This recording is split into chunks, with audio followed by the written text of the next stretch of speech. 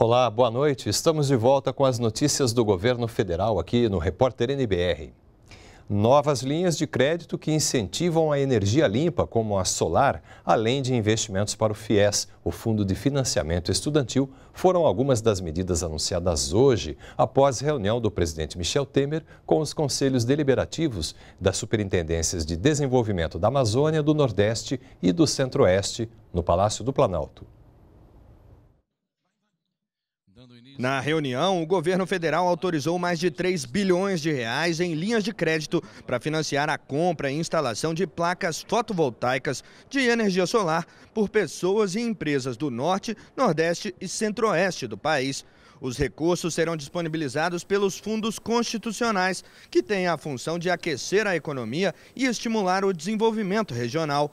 Os juros para essa linha de crédito estão abaixo das taxas de mercado e têm prazos mais longos de pagamento. A expectativa é de pelo menos 10 mil operações neste ano. Esta é uma conquista que merece um registro importante, porque isto estará ampliando a oferta de energia para o sistema nacional.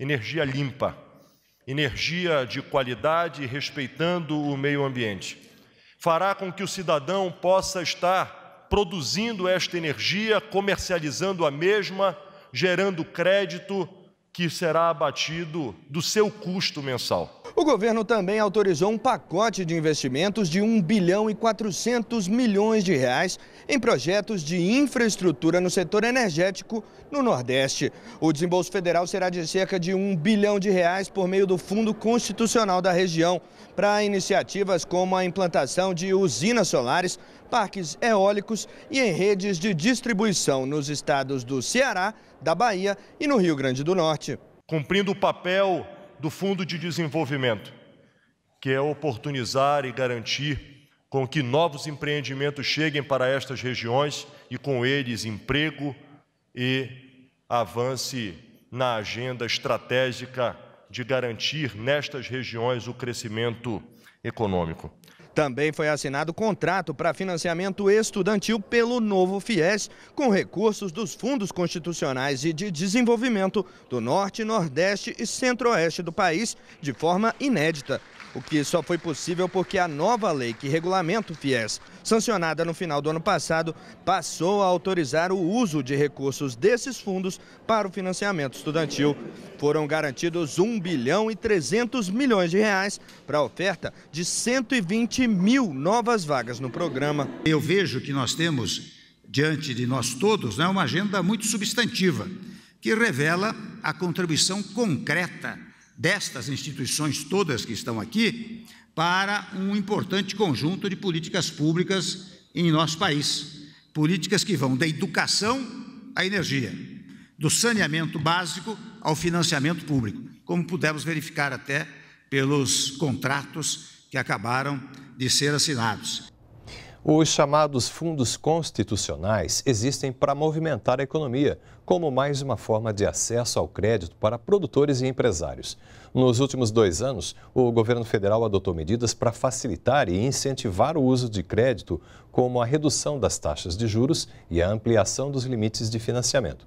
Esse esforço resultou no crescimento de 52% dos valores contratados em 2017 após um cenário de retração de 14% em 2016. De olho no grande número de acidentes de trabalho, o Ministério do Trabalho lançou uma campanha para prevenir as doenças ocupacionais e também as quedas de alturas. A Campate 2018 quer sensibilizar a sociedade brasileira para a importância desse tipo de prevenção. A novidade deste ano é que a mobilização vai durar o ano todo e contar com diversas ações em todo o país. Somente em 2017, o Instituto Nacional de Seguridade Social, INSS, concedeu quase 200 mil benefícios a trabalhadores que precisaram se afastar de suas atividades por mais de 15 dias por algum problema de saúde relacionado à atividade profissional uma média de 540 afastamentos por dia. O foco da campanha nacional de prevenção de acidentes do trabalho em 2018 são as quedas de alturas e os chamados adoecimentos ocupacionais, como tendinites, depressão, estresse grave e transtornos de adaptação. O que nós precisamos fazer é o que a campanha vem fazer, é justamente orientar as pessoas para que elas utilizem os equipamentos de proteção individual, os equipamentos de proteção coletiva, para que esses acidentes não ocorram.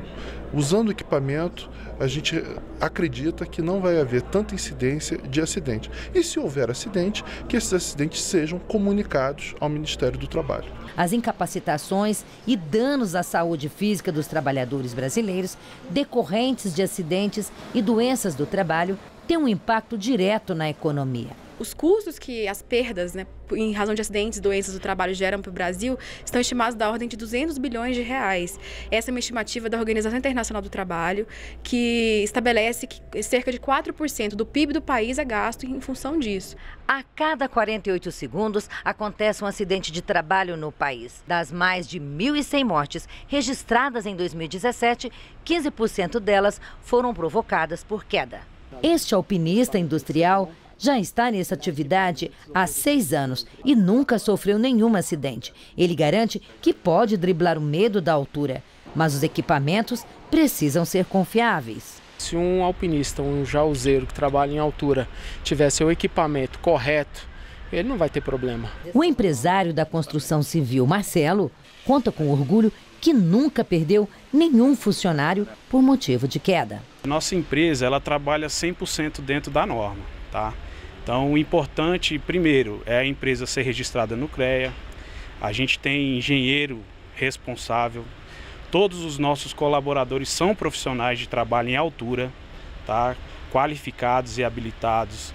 Os equipamentos todos são de acordo com a norma, tá? São equipamentos que são é, fiscalizados e são vistoriados é, periodicamente. Na verdade, a gente não considera o ato inseguro, mas a condição na qual o trabalhador está que é insegura.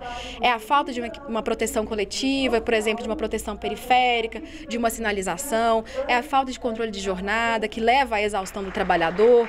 São questões mais é, organizacionais e mais amplas do que simplesmente dizer que a responsabilidade é do trabalhador. Nós ficamos por aqui. Você pode rever as reportagens no YouTube. E toda a nossa programação também está na página da NBR na internet. Uma boa noite para você e continue com a gente aqui na NBR, a TV do Governo Federal.